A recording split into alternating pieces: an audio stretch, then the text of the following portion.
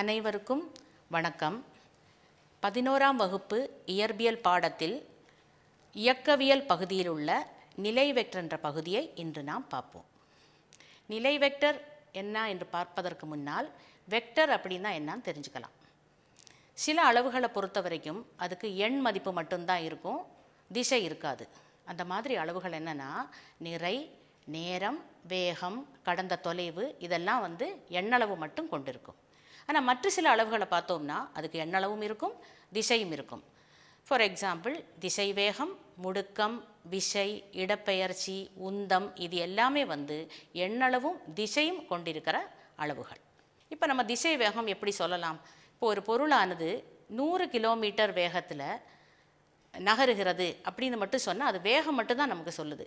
அதோட திசை என்னன்னு இங்கே சொல்லலை. அதனால் திசை வேகம் அப்படின்னு சொல்லணும்னா நூறு கிலோமீட்டர் வேகத்தில் கிழக்கே சென்று கொண்டிருக்கிறது அல்லது வடக்கே சென்று கொண்டிருக்கிறது. இந்த மாதிரி சொன்னால் தான் அதோட திசையும் நமக்கு தெரியும். அடுத்து இந்த திசை வேகத்தோட எண் மதிப்பு அல்லது திசை ஏதாவது மாறிக்கொண்டே இருந்தால் அதை நாம் வந்து முடுக்கம்னு சொல்லுவோம். அப்போ முடுக்கத்தை எப்படி சொல்லலாம்? காலத்தை பொறுத்து திசை வேகத்தின் எண் மதிப்போ திசையோ மாறிக்கொண்டே இருந்தால் அதுக்கு முடுக்கம்னு சொல்லலாம். இப்போ ஒரு துகள் வட்டப்பாதையில் இயங்கிக் கொண்டே இருக்குதுன்னு பார்ப்போம். ஒவ்வொரு புள்ளியிலும் வட்டப்பாதையோட ஒவ்வொரு புள்ளியிலும் இந்த துகளோட திசை மாறிக்கொண்டே இருந்தால் அதோட வேகம் சமமாக இருக்கும். ஆனால் ஒவ்வொரு இடத்துலையும் திசை வேகம் மாறிக்கொண்டே இருக்கும். ஒவ்வொரு புள்ளியிலையும் திசை மாறிக்கொண்டே இருக்கிறதுனால தான் அந்த துகள் வட்டப்பாதையிலேயே இயங்குகிறது. அடுத்து நிலை வெக்டர் என்ன என்பதை பார்ப்போம். நிலை வெக்டர் என்னங்கிறது ஒரு துகளோட நிலையை அறிவதற்கான வெக்டர் தான் நிலை வெக்டர் இப்போ துகளோட நிலையை நம் ஆயத்தொலைவுகளோட உதவியால் அறியலாம். அதாவது குறிப்பாய மூலம் நாம் நிலை வெக்டர் அல்லது நிலையை அறியலாம். உதாரணமாக ராக்கெட் செல்லும் திசை அறிதல் கைபேசியில் நமது இருப்பிடம் காணல். இதெல்லாம் நிலை வெக்டரை கொண்டு நாம் அறியலாம். அடுத்து ஒரு நிலை வெக்டரை எப்படி நாம் குறிக்க போகிறோம் ஆர் வெக்டார் சமம் x i cap plus y j cap plus z k cap இப்படி தான் நம்ம ஒரு நிலை வெக்டரை குறிக்கணும். இப்போ படத்தை பாருங்கள் படத்தில் பி என்ற புள்ளி அதோட கூறுகள் கொடுத்துருக்காங்க. பி எக்ஸ் ஒய் இசட் அப்படின்னு கொடுத்துருக்காங்க. பியோட நிலை vector r vector. X i plus y j plus z k இங்கே எக்ஸ் ஒய் இசட் அப்படிங்கிறது ஆரோட கூறுகளாகும். I cap j cap k cap அப்படின்னா செங்குத்து ஓரலகு வெக்டர். அதாவது ஐ கேப் என்பது எக்ஸ் அச்சில் உள்ள ஓரலகு வெக்டர் ஜே கேப் என்பது ஒய் அச்சில் உள்ள ஓரலகு வெக்டர் கே கேப் என்பது இசட் அச்சில் உள்ள ஓரலகு வெக்டர். அடுத்து நாம் கடந்த தொலைவு மற்றும் இடப்பெயர்ச்சி என்ன என்பதை பார்க்கலாம். கடந்த தொலைவு அப்படின்னா கொடுக்கப்பட்ட கால இடைவெளியில் பொருள் கடந்து சென்ற பாதையின் மொத்த நீளம் என்று சொல்லலாம். இது ஒரு நேர்குறி ஸ்கேலார் அளவு ஆகும். இடப்பெயர்ச்சி அப்படின்னா கொடுக்கப்பட்ட கால இடைவெளியில் பொருளின் இறுதி நிலைக்கும் அதன் ஆரம்ப நிலைக்கும் உள்ள வேறுபாடு. எப்பயுமே இந்த இடப்பெயர்ச்சிங்கிறது வந்து கடந்த தொலைவை விட குறைவாக இருக்கும். கடந்த தொலைவு எப்பொழுதுமே நேர்குறியாக இருக்கும். ஆனால் இடப்பெயர்ச்சி என்பது நேர்குறியாகவோ சுழியாகவோ அல்லது எதிர்குறியாகவோ இருக்கும். இப்போ இந்த ரெண்டு படத்தையும் பார்க்கலாம். ஒரு துகள் ஏயில இருந்து சிக்கு நகர்கிறது. ஏயிலிருந்து பிக்கு நாலு மீட்டரும் பியிலிருந்து சிக்கு மூணு மீட்டரும் நகருகிறது. இப்போ இந்த பொருள் கடந்த பாதை அப்படின்னா என்ன? ஏபி பிசி இப்போ கடந்த பாதையின் மொத்த நீளம் என்பது ஏழு மீட்டர். ஆனால் இந்த துகளின் ஆரம்ப நிலை என்பது ஏ இறுதி நிலை என்பது சி அதனால் அதன் இடப்பெயர்ச்சி என்பது அஞ்சு மீட்டர். பாருங்கள் அஞ்சு மீட்டர் என்பது கடந்த தொலைவை விட கம்மியாகவே இருக்குது அடுத்து இந்த இடப்பெயர்ச்சியோட திசை எப்பயுமே ஆரம்ப நிலையிலிருந்து இறுதி நிலையை நோக்கி இருக்கும். ரெண்டாவது படத்துலையும் கடந்த தொலைவும் கொடுத்துருக்காங்க இடப்பெயர்ச்சியும் கொடுத்துருக்காங்க. பார்த்தாலே நமக்கு தெரியுது கடந்த தொலைவை விட இடப்பெயர்ச்சி வந்து குறைவாக இருக்குது இப்போ ஒரு எடுத்துக்காட்டு பார்க்கலாம். உங்கள் பள்ளிக்கூடம் உங்கள் வீட்டிலிருந்து இரண்டு கிலோமீட்டர் தொலைவில் உள்ளது என கருதுக. வீட்டிலிருந்து பள்ளிக்கூடத்திற்கும் பின்னர் மாலை பள்ளிக்கூடத்திலிருந்து வீட்டிற்கும் வருகிறீர்கள் எனில் இந்நிகழ்ச்சியில் நீங்கள் கடந்து சென்ற தொலைவு மற்றும் அடைந்த இடப்பெயர்ச்சி என்ன? இதான் கேள்வி. இப்போ காலையில் வீட்டிலேருந்து பள்ளிக்கூடத்துக்கு ரெண்டு கிலோமீட்டர் நம்ம கடந்து போகிறோம் திரும்ப மாலையில் பள்ளிக்கூடத்திலேருந்து இன்னொரு ரெண்டு கிலோமீட்டர் வீட்டுக்கு வரும். இப்போ மொத்தமாக கடந்த தொலைவு அப்படின்னா நாலு கிலோமீட்டர் வரும். ஆனால் ஆரம்ப புள்ளியும் வீடு தான் இறுதி புள்ளியும் வீடு தான் அதனால் இடப்பெயர்ச்சி என்பது சுழியாக இருக்கும். இப்போ கார்டீஷியன் ஆய அச்சு தொகுப்பில் இடப்பெயர்ச்சி வெக்டர் என்ன என்பதை பார்க்கலாம். இப்போ ஒரு படத்தில் நம்ம பி ஒன் பி டூன்னு ரெண்டு புள்ளியை பார்க்குறோம். பி ஒன்னின் நிலை வெக்டர் ஆர் ஒன் வெக்டர் என்பது x one i plus y one j plus z one k இங்கு ஐ ஜே மற்றும் கே என்பது ஓரலகு வெக்டர். பி டூவின் நிலை வெக்டரை எப்படி எழுதலாம்? ஆர் டூ வெக்டர் சமம் x two i cap plus y two j cap plus z two k cap இப்போ படத்தில் நமக்கு பி ஒன்ங்கிற புள்ளியும் பி டூங்கிற புள்ளியும் தெரியுது. பி ஒன்னோட நிலை வெக்டர் ஆர் ஒன்று கொடுத்துருக்காங்க. பி டூவோட நிலை vector r two so r one vector r two vector. இந்த ரெண்டு வெக்டரோடையும் படத்தில் பி ஒன்னின் நிலை vector r one vector P டூவின் நிலை வெக்டர் ஆர் டூ வெக்டர். இப்போ துகளின் இடப்பெயர்ச்சியானது கார்டீஷியன் ஆயாச்சு தொகுப்பில் நம்ம எப்படி குறிப்பிட போகிறோம் டெல் ஆர் வெக்டர் சமம். R two vector minus r one vector இதை எப்படி எழுதலாம்? X two minus x one i cap plus y two minus plus one j cap plus z two minus z one k cap இப்போ நம்ம படித்ததுலேருந்து நம்ம சில விஷயங்களை நினைவில் வச்சுக்கணும். இப்போது கொடுக்கப்பட்ட நேரத்தில் இயங்கும் பொருள் கடந்த தொலைவு எப்பொழுதும் நேர்க்குறி மதிப்பை மட்டுமே பெற்றிருக்கும். சுழி அல்லது எதிர்க்குறி மதிப்பை பெறாது. அடுத்த பாயிண்ட் கொடுக்கப்பட்ட நேரத்தில் பொருள் அடைந்த இடப்பெயர்ச்சியானது நேர்குறி சுழி அல்லது எதிர்குறி மதிப்பினை பெற்றிருக்கலாம். மூணாவதாக பொருள் அடைந்த இடப்பெயர்ச்சி பொருள் கடந்த தொலைவிற்கு சமமாகவோ அல்லது குறைவாகவோ இருக்கும். ஆனால் ஒருபோதும் கடந்த தொலைவை விட அதிகமாக இருக்காது. நாலாவது பாயிண்ட் இரண்டு புள்ளிகளுக்கிடையே பொருள் கடந்த தொலைவு பல்வேறு மதிப்புகளை பெற்றிருக்கும். ஆனால் அப்புள்ளிகளுக்கு இடையேயான இடப்பெயர்ச்சி ஒரே ஒரு மதிப்பினை மட்டுமே பெற்றிருக்கும். அதாவது எண் மதிப்பு மட்டும் பெற்றிருக்கும். அடுத்ததாக நாம் நுண்கணிதம்ங்கிற பகுதியை பார்க்கலாம். பொதுவாக ஏதாவது ஒன்று காலத்தை பொறுத்து அல்லது இடத்தை பொறுத்து மாறும் பொழுது அது எந்த விகிதத்தில் மாறுகின்றது எப்படியெல்லாம் மாறுகின்றது என்பதை நுண்கணிதம் விளக்குகிறது. இப்போ இந்த நுண்கணிதத்தில் இரண்டு பகுதிகள் இருக்குது வகை நுண்கணிதம் மற்றும் தொகை நுண்கணிதம் இந்த நுண்ணிய பகுப்பாய்வின் மூலமாக அதை பற்றியும் அதன் மாற்றத்தை பற்றியும் பல பண்புகளை நம்மால் பெற இயலுகிறது. இதில் வகை நுண்கணிதம் மற்றும் தொகை நுண்கணிதம் நம்ம பார்க்கலாம். வகை நுண்கணிதம் பார்க்கறதுக்கு முன்னால் சார்பு அப்படின்னா என்னன்னு தெரிஞ்சுக்கலாம். எந்த ஒரு இயற்பியல் அளவும் கணிதவியலின் ஒரு சார்பாக குறிப்பிடப்படுகிறது. இப்போது y is equal to f of x அப்படின்னு சொல்கிறோம் அப்படின்னா y எக்ஸை சார்ந்து இருக்கிறது அப்படின்னா என்ன அர்த்தம்? எக்ஸோட அளவு எப்பப்போ மாறுறதோ அப்பெல்லாம் வையோட அளவும் மாறும். இன்னொரு எடுத்துக்காட்டு சொன்னோம்னா சுற்றுச்சூழலோட வெப்பநிலை. இப்போ காலையில் பார்த்தா வெப்பநிலை வந்து குறைவாக இருக்கும். நேரம் ஆக ஆக வெப்பநிலையோட அளவு அதிகரிக்கும். நண்பகலில் வெப்பநிலை அதிகரிக்கும். திரும்ப மாலை வேளையில் வெப்பநிலை குறைஞ்சிட்டே வரும். இப்போ நம்ம என்ன சொல்லலாம்னா வெப்பநிலை என்பது காலத்தின் சார்பு அல்லது நேரத்தை சார்ந்த வெப்பநிலை அப்படின்னு சொல்லலாம். அப்போ டி என்ற கால இடைவெளியில் கேபிட்டல் டி என்ற வெப்பநிலையை நம்ம எப்படி எழுதலாம்? டி ஆஃப் டி அப்படின்னு குறிப்பிடலாம். இதை நேரத்தை சார்ந்த வெப்பநிலை அப்படின்னு சொல்லலாம்.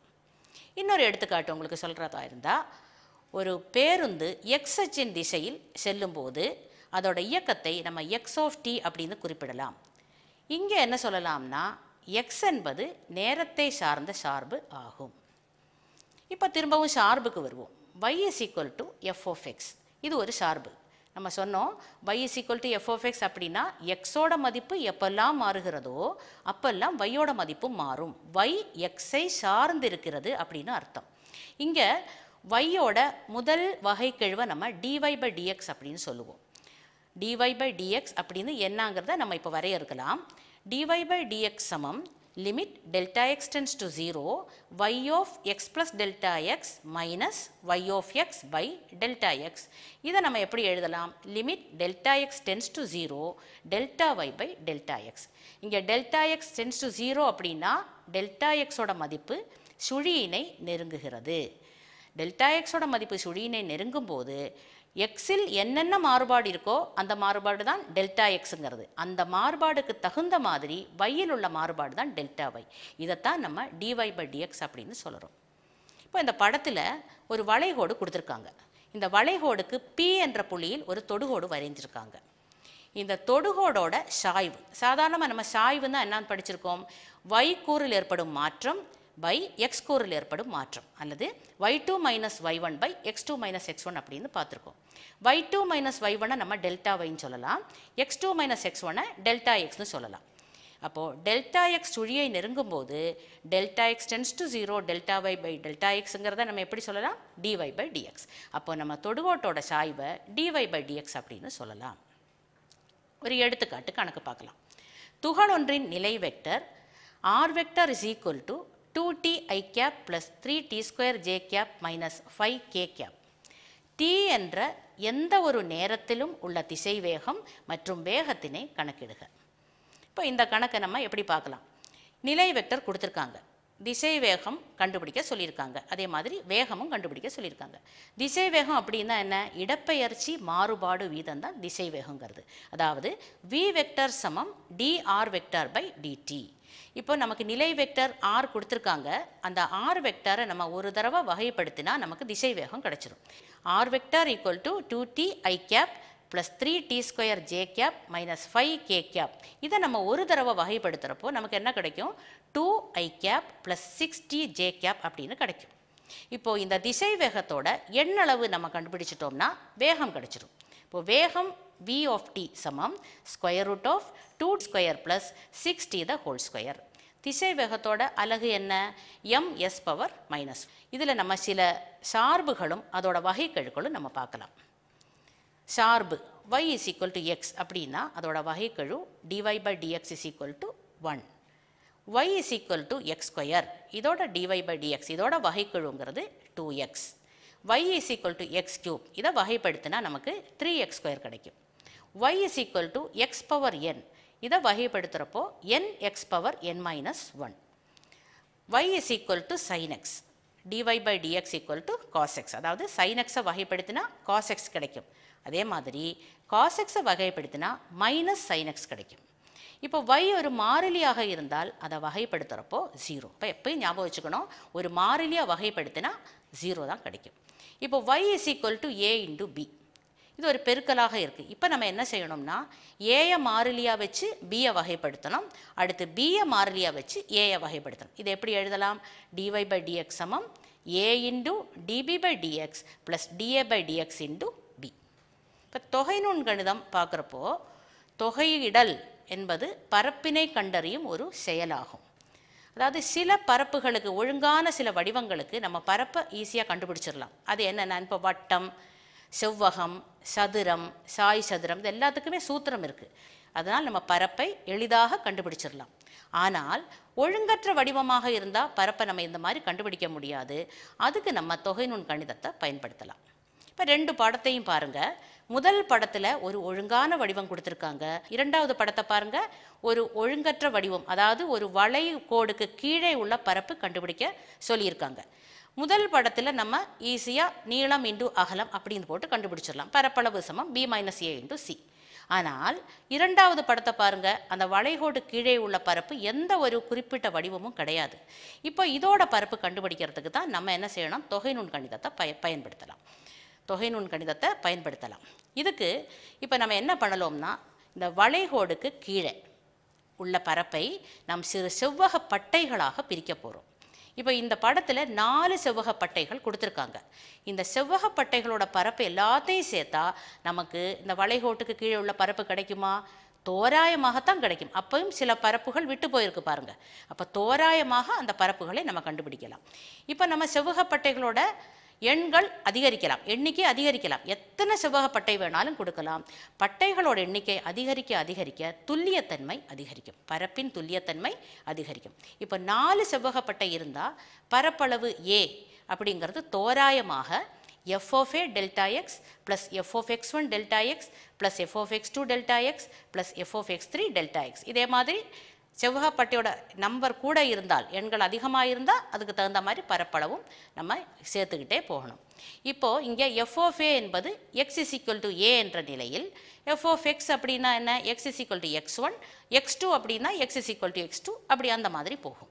இப்போது செவ்வகப்பட்டையோட எண்ணிக்கை அதிகரிக்கிறப்ப என்னாகும்? பரப்பின் அளவிடுதலின் துல்லியத்தன்மையும் மேலும் மேலும் அதிகரிக்கும். இப்போது அந்த வளையகோட்டுக்கு கீழே உள்ள பரப்பு கேபிட்டல் ஏ தோராயமாக summation n is equal to one to n f of x n delta x n என்னோட மதிப்பு ஈரிலா மதிப்பினை நெருங்கும் போது நம்ம எப்படி எழுதலாம்? என் டென்ஸ் டு இன்ஃபினிட்டி அப்படின்னு எழுதலாம்.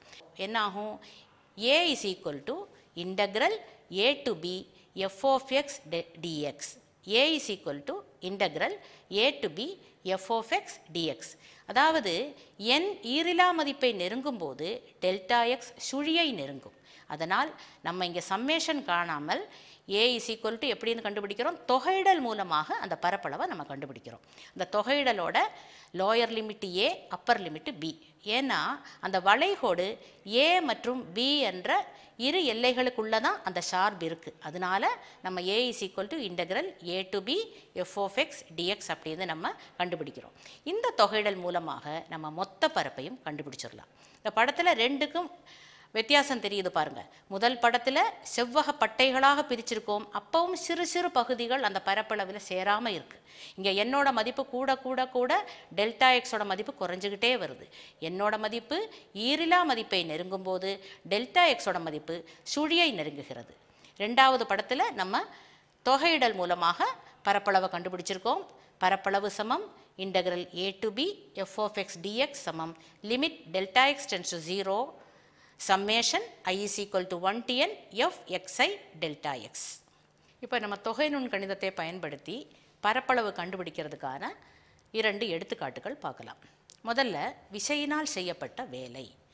பொருள் ஒன்று ஏ புள்ளியிலிருந்து பி புள்ளிக்கு ஒரு பரிமாண இயக்கத்தில் நகரும்போது விசை எஃப்ஓஃபெக்ஸால் செய்யப்பட்ட வேலையை நம்ம எப்படி குறிப்பிடலாம்னா W is equal to integral a to b f of x dx அதாவது ஒரு பொருள் ஏயிலிருந்து பிக்கு நகர்றது அப்படின்னாலே அந்த இடத்துல ஒரு விசை வேணும். விசையினால் ஒரு துகள் நகரும் போது அங்கே ஒரு வேலை செய்யப்படும்.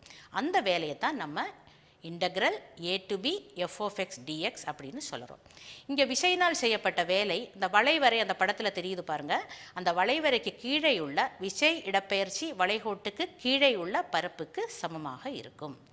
இப்போ இது நல்லா புரியுதா? இப்போ அதே மாதிரி அடுத்து நம்ம பார்க்க போகிறது கணத்தாக்கு விசை. இன்னொரு எடுத்துக்காட்டு. கணத்தாக்கு விசை. அதாவது கண நேரத்தில் தாக்கக்கூடிய விசை அப்படின்னு சொல்லலாம். அதாவது மிகச்சிறிய இடைவெளியில் மிக அதிகமான ஒரு விசை தாக்கும் பொழுது கணத்தாக்கு விசை ஏற்படுகிறது. படத்தில் பாருங்க. இங்கே எக்ஸ் அச்சில் நேரம் கொடுத்துருக்காங்க ஒய் அச்சில் விசை கொடுத்துருக்காங்க. பெரும்பாலும் எப்பயுமே எதை சார்ந்திருக்கிறதோ அதை நம்ம எக்ஸ் அச்சில் கொடுப்போம். எது மாறுபடுகிறதோ அது ஒய் அச்சில் கொடுப்போம். அங்கே பார்த்தோம்னா இடப்பெயர்ச்சி மாறுகிறது. இடப்பெயர்ச்சி எக்ஸ் அச்சிலையும் விசை ஒய் அச்சிலையும் கொடுத்துருந்தோம். ஏன்னா இங்கே நேரம் எக்ஸ் அச்சிலையும் விசை ஒய் அச்சிலையும் கொடுத்துருக்கோம். இங்கே t is equal to zero மற்றும் t is equal to t one என்ற சிறிய கால இடைவெளியில் தான் அந்த விசை தாக்குகிறது. அந்த விசை தான் கணத்தாக்கு விசை. அந்த கணத்தாக்கு விசை capital I is equal to integral zero to t one f dt இங்கே நம்ம என்ன சொல்லலாம்? விசை என்பது நேரத்தை சார்ந்தது. இங்கே ஒரு சார்பு தான். இப்போது இயக்கம் சார்ந்த சில இயற்பியல் அளவுகளை பார்க்கலாம். திசை வேகம் திசை வேகம்னா என்ன? இடப்பெயர்ச்சி மாறுபாடு வீதம் அல்லது இடப்பெயர்ச்சி பை காலம். இதை நம்ம எப்படி எழுதலாம்? V is equal to dr by டிடின்னு சொல்லலாம் அல்லது டிஎஸ் பை டிடி அப்படின்னு சொல்லலாம். இதோட அழகு என்ன? எம்எஸ் பவர் மைனஸ் ஒன் அடுத்து சராசரி திசை வேகம் சராசரி திசை வேகம்னா துகளின் இடப்பெயர்ச்சி பை அதற்கான கால இடைவெளி. அதாவது எந்த கால இடைவெளியில் அந்த இடப்பெயர்ச்சி நடந்திருக்குதோ அதைத்தான் நம்ம துகளின் இடப்பெயர்ச்சி பை அதற்கான கால இடைவெளி. அதைத்தான் நம்ம சராசரி திசை வேகம் அப்படின்னு சொல்கிறோம் இங்கே வி ஆவரேஜ் சமம் delta r vector by delta t சராசரி வேகம். சராசரி வேகம்னா என்ன? பாதையின் மொத்த நீளம் பை மொத்த நேரம். அதாவது மொத்த நேரத்தில் எவ்வளவு நீளத்தை கடந்திருக்காங்க? மொத்த நீளம் பை மொத்த நேரம். அதுதான் சராசரி வேகம். அடுத்து உடனடி திசைவேகம் என்றால் என்ன அப்படின்னு பார்க்கலாம். டெல்டா டி என்கிற கணநேர பொழுதில் துகள் கொண்டிருக்கும் திசைவேகம் உடனடி திசைவேகம் எனப்படும். இதனை டி என்கிற நேரத்தில் delta t tends to zero என்ற நிபந்தனையில் கிடைக்கப்பெறும் திசைவேகம் என்றும் கூறலாம். இது ஒரு வெக்டர் ஆகும். இதுக்கு நம்ம சாதாரணமாக ஒரு எடுத்துக்காட்டு பார்க்கலாம். நம்ம எல்லாருமே நகர பேருந்தில் போயிருக்கோம். அது ஒவ்வொரு ஸ்டாப்பிங்கிலையும் நின்று நின்று நின்று போகும். அப்போ ஒவ்வொரு ஸ்டாப்பிங்கிலையும் நிற்கிற போது அதோட உடனடி திசை வேகம் சுழியாக இருக்கும். இப்போ உடனடி திசை வேகத்துக்கான ஒரு சமன்பாடு. வி வெக்டார் சமம் limit delta t tends to zero delta r vector by delta t இதை எப்படி எழுதலாம்? டிஆர் வெக்டார் பை டிடி அடுத்து உந்தம் அப்படின்னா என்னன்னு பார்ப்போம். உந்தம் அப்படி என்பது நிறை மற்றும் திசைவேகத்தின் பெருக்கல் தொகை ஆகும் இப்போ ஒரு சின்ன எக்ஸாம்பிள் சொல்லலாம். ஒரு வண்ணத்து பூச்சி ஒரு சிறிய கல் இது ரெண்டும் ஐந்து மீட்டர் பர் செகண்ட் திசை வேகத்தில் நம்ம மேலே மோதுகிறது அப்படின்னு வச்சுக்கலாம். ரெண்டோடையும் மோதலின் விளைவுகள் ஒரே மாதிரி இருக்காது. ஏன்னா கல் நம்ம மேலே வந்து விழுந்தாலும் வண்ணத்து பூச்சி வந்து விழுந்தாலும் ஒரே விளைவை ஏற்படுத்தாது. கல் மேலே வந்தால் கட்டாயமாக நமக்கு அதுக்கான தாக்கம் அதிகமாக இருக்கும். ஏன்னா கல்லோட நிறை வண்ணத்து பூச்சியோட நிறையை விட அதிகமாக இருக்கும். இதுதான் உந்தம். அப்போது எதுக்கு அதிகம்? உந்தம்ங்கிறது நிறையும் திசை வேகம் இது ரெண்டோடையும் பெருக்கல் தொகையாகும். அதனால் கல்லோட உந்தம் வண்ணத்து பூச்சியோட உந்தத்தை விட அதிகமாக இருக்கும். இப்போ நம்ம இவ்வளோ தூரம் படித்ததிலிருந்து சில கேள்விகள் பார்க்கலாம். கடந்த தொலைவு மற்றும் இடப்பெயர்ச்சி வேறுபடுத்துக. நகர பேருந்து ஒன்றின் மீச்சிறு உடனடி திசைவேகத்தின் மதிப்பு யாது? திசைவேகம் மற்றும் சராசரி திசைவேகம் வேறுபடுத்துக. ஒரு துகளின் நிலை வெக்டர் ஆர் வெக்டர் சமம் நாலு t square i cap plus அஞ்சு டி ஜே கேப் மைனஸ் ஆறு கே கேப் எனில் அதன் திசைவேகத்தினை கணக்கிடுக. கணத்தாக்கு விசை என்பதனை வரையறு அதன் அலகு யாது? முதல்ல நீங்கள் கொஸ்டின் எழுதிக்கங்க. முதல் கணக்கு. கேள்வி சொல்கிறேன் துகள் ஒன்றின் நிலையானது நாலு கம்மா மூணு என்ற ஆயத் தொலைவுகளினால் குறிக்கப்படுகிறது. அதன் நிலை வெக்டர் யாது? இதுதான் கேள்வி. நிலை கொடுத்துருக்காங்க. நாலு கம்மா மூணு அப்படின்னா எக்ஸ் அச்சு கூறும் y அச்சு கூறும் கொடுத்துருக்காங்க. இதை வச்சு நம்ம நிலை வெக்டர் எழுதணும். நம்ம நிலை வெக்டருக்கு ஜென்ரலாக நம்ம எப்படி எழுதணும்? ஆர் வெக்டார் சமம் X I cap plus Y J cap plus Z K cap அப்படின்னு சொன்னோம். அப்போ இங்கே எக்ஸ் கூறும் வை கூறும் மட்டும்தான் கொடுத்துருக்காங்க. அதனால ஆர் வெக்டார் சமம் நம்ம என்ன சொல்லலாம்? ஆர் வெக்டார் சமம். நாலு ஐ கேப் ப்ளஸ் மூணு ஜே கேப் எக்ஸுக்கு பதிலாக நாலு போடுங்க ஒய்க்கு பதிலாக மூணு போடுங்க. ஸோ ஆர் வெக்டார் சமம் நாலு ஐ கேப் ப்ளஸ் மூணு ஜே கேப் இன்னொரு கேள்வி கேட்குறேன். கயிறு ஒன்றில் மரக்கட்டை தொங்க விடப்பட்டுள்ளது. அதனை நோக்கி துப்பாக்கி ஒன்று சுடப்படுகிறது. இந்நிகழ்வில் இயக்கவியல் தொடர்பான கருத்துக்களை கூறுக. இதான் கேள்வி. இப்போ ஒரு கயிறு இருக்குது அந்த கயிறில் வந்து ஒரு மரக்கட்டை தொங்க விட்டுருக்காங்க. பக்கத்தில் நின்று ஒரு துப்பாக்கியால் சுடுறோம். சுடுற நேரத்தில் என்ன ஆகும் நடக்குது. நம்ம படித்ததில் இதை நம்ம சம்மந்தப்படுத்தி பார்க்கணும். இப்போ துப்பாக்கிக்கும் மரக்கட்டைக்கும் இடையே தொலைவு கம்மியாக இருக்குது அப்படின்னு வச்சுட்டோம்னா என்ன ஆகும் குண்டானது நேராக அந்த மரக்கட்டையில் போய் விழும். ஸோ மரக்கட்டையில் போய் அதுக்குள்ளே பொதிஞ்சிடும். பொதியிற சமயத்தில் என்ன ஆகும் அந்த மரக்கட்டை லேசாக அசையும். அதுக்கு என்ன காரணம் அப்படின்னு பார்த்தா இப்போ குண்டானது நேர்கோட்டில் செல்றப்பயே அதுக்கு ஒரு திசை வேகம் இருக்கும். இப்போ மரக்கட்டைக்குள்ளே போய் பொதியறப்போ அது லேசாக ஒரு சின்ன கோணத்தில் அசையும்.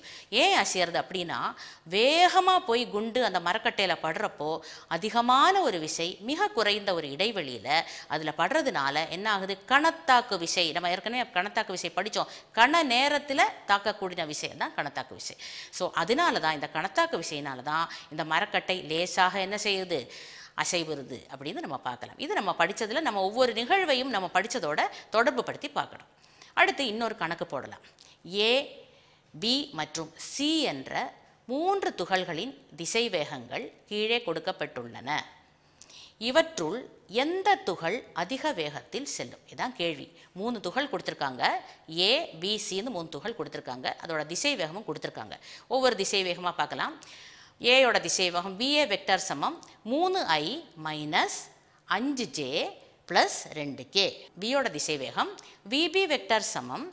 ஐ ப்ளஸ் ரெண்டு ஜே ப்ளஸ் மூணு கே சியோட திசை வேகம் விசி வெக்டர் சமம். அஞ்சு ஐ ப்ளஸ் மூணு ஜே ப்ளஸ் நாலு கே மூணு திசை வேகம் நம்ம கொடுத்துருக்காங்க. இப்போ முதல்ல ஏயோட வேகம் கண்டுபிடிப்போம். திசை வேகம் கொடுத்தா எப்படி வேகம் கண்டுபிடிக்கிறது? திசை வேகத்தோட மாடுலஸ் அல்லது எண் அளவு தான் வேகம். இப்போ மாடுலஸ் விஏ வெக்டர் சமம். மாடுலஸ் எப்படி கண்டுபிடிக்கணும்னா ஸ்கொயர் ரூட் ஆஃப் முதல்ல ஐயோட கெழு எடுத்துக்கணும். ஐயோட கெழு மூணு ஸ்கொயர் ப்ளஸ் அடுத்து ஜேயோட கெழு மைனஸ் அஞ்சு ப்ளஸ் மைனஸ் அஞ்சு ஸ்கொயர் ப்ளஸ் கேயோட கெழு ரெண்டு ப்ளஸ் ரெண்டு ஸ்கொயர் அப்போ ஸ்கொயர் ரூட் ஆஃப் ஒன்பது ப்ளஸ் இருபத்தி அஞ்சு ப்ளஸ் நாலு. மூணையும் கூட்டினா நமக்கு ரூட் ஆஃப் முப்பத்தி எட்டு மீட்டர் பர் செகண்ட் அப்படின்னு கிடைக்கும். அடுத்ததாக பியோட திசை வேகம் கொடுத்துருக்காங்க. அதோட எண்ணளவு நம்ம கண்டுபிடிக்க போகிறோம் மாடுலஸ் விபி வெக்டர் என்ன மாடுலஸ் எப்படி கண்டுபிடிக்கணும்? பி வெக்டர் எடுத்துக்கோங்க. ஐயோட கெழு ஒன்று ஜேயோட கெழு ரெண்டு கேயோட கெழு மூணு. அப்போது மாடுலஸ் விபி வெக்டார் சமம் ஸ்கொயர் ரூட் ஆஃப் ஒன்று ஸ்கொயர் ப்ளஸ் ரெண்டு ஸ்கொயர் ப்ளஸ் மூணு ஸ்கொயர் சமம் ஸ்கொயர் ரூட் ஆஃப் ஒன்று ப்ளஸ் நாலு ப்ளஸ் ஒன்பது சமம் ரூட் ஆஃப் பதினாலு மீட்டர் பர் செகண்ட் மூணாவதாக இதே மாதிரி ஏயும் பியும் எப்படி கண்டுபிடிச்சோமோ அது மாதிரி அடுத்து சி கண்டுபிடிக்கலாம். சியோட வேகம் சமம் மாடுலஸ் விசி வெக்டர் சமம். இங்கே ஐ வெக்டரோட கெழு அஞ்சு ஜே வெக்டரோட கெழு மூணு கே வெக்டரோட கெழு நாலு. அதனால் மாடுலஸ் விசி வெக்டர் சமம். ஸ்கொயர் ரூட் ஆஃப் அஞ்சு ஸ்கொயர் ப்ளஸ் மூணு ஸ்கொயர் ப்ளஸ் நாலு ஸ்கொயர் சமம். ஸ்கொயர் ரூட் ஆஃப் இருபத்தி அஞ்சு ப்ளஸ் ஒன்பது ப்ளஸ் பதினாறு. ஸ்கொயர் ரூட் ஆஃப் ஐம்பது அப்படின்னு நமக்கு கிடைக்கும். இதுக்கு அலகு எம்எஸ் பவர் மைனஸ் ஒன் எல்லாத்துக்குமே அலகு எழுதணும். இப்போ இந்த மூணு மதிப்பை நம்ம ஒப்பிடலாம். மொதல் இதுக்கு ரூட் முப்பத்தி எட்டுன்னு கிடச்சிது ரெண்டாவது ரூட் பதினாலுன்னு கிடச்சிது மூணாவது ரூட் ஐம்பதுன்னு கிடச்சிது. மூணையும் ஒப்பிட்டு பார்த்தா ரூட் ஐம்பது தான் பெருசு அதனால சியோட வேகம் தான் அதிகமாக இருக்கும். இப்போ நம்ம என்ன சொல்லலாம்? சி வந்து மற்ற இரு துகள்களை விட வேகமாக செல்லும் அப்படின்னு சொல்லலாம். இதுதான் பதில். ஸோ இது புரியுதில்ல? அடுத்து நம்ம ஒரு இடப்பெயர்ச்சி வெக்டர் எப்படி காண்றதுக்கான ஒரு கணக்கு பார்ப்போம். கொஸ்டின் எழுதுங்க. துகள் ஒன்றின் நிலை ஆர் ஒன் வெக்டர் சமம் மூணு ஐ ப்ளஸ் நாலு ஜேயிலிருந்து ஆர் டூ வெக்டர் சமம் ஐ ப்ளஸ் ரெண்டு ஜேக்கு இடம்பெயர்கிறது. எனில் அத்துகளின் இடப்பெயர்ச்சி வெக்டரை அதாவது டெல் ஆரை காண்க. இதுதான் கேள்வி. அதாவது ஆர் ஒன் வெக்டர் கொடுத்துருக்காங்க ஆர் டூ வெக்டர் கொடுத்துருக்காங்க. இடப்பெயர்ச்சி. நம்ம பார்த்தோம் இடப்பெயர்ச்சி வெக்டர் இப்போ தான் பார்த்தோம். இடப்பெயர்ச்சி வெக்டர் தான் என்ன? ஆர் டூ வெக்டர்லேருந்து ஆர் ஒன் வெக்டரை கழிச்சா டெல் ஆர் கிடச்சிரும். இப்போ நீங்கள் என்ன பண்ணணும்? கொடுத்துருக்கிற டேட்டா அப்படியே ஆன்சரில் எழுதுங்க. ஆர் ஒன் வெக்டார் சமம். மூணு ஐ ப்ளஸ் நாலு ஜே ஆர் டூ வெக்டார் சமம். ஐ ப்ளஸ் ரெண்டு ஜே டெல் ஆர் சமம். R two minus R one சமம். ஐ ப்ளஸ் ரெண்டு ஜே மைனஸ் மூணு ஐ ப்ளஸ் நாலு ஜே டெல்லார் சமம். இப்போ கழிச்சா என்ன கிடைக்கும்? ஐயிலேருந்து மூணு ஐயை கழிச்சா மைனஸ் ரெண்டு ஐ கிடைக்கும். ரெண்டு ஜேலேருந்து நாலு ஜே கழிச்சா மைனஸ் ரெண்டு ஜே கிடைக்கும். ஸோ டெல்லார் வெக்டார் சமம். மைனஸ் ஆஃப் ரெண்டு ஐ ப்ளஸ் ரெண்டு ஜே இதோட அழகு இடப்பெயர்ச்சியோட அழகு என்ன? மீட்டர் நம்ம சராசரி திசை வேகம் என்னன்னு பார்த்தோம். சராசரி திசை வேகம் தான் என்ன? இடப்பெயர்ச்சி பை அந்த இடப்பெயர்ச்சிக்கு எடுத்துக்கொண்ட மொத்த கால அளவை தான் நம்ம சராசரி திசை வேகம் அப்படின்னு சொல்கிறோம் மாணவர்களே மீண்டும் அடுத்த பகுதியில் சந்திப்போம். நன்றி வணக்கம்.